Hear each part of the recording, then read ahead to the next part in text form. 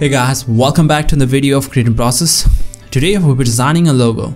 So let's talk about this design. I'm designing a logo for a project which I'm working on and I try to achieve an iconic and catchy design along with some simplicity.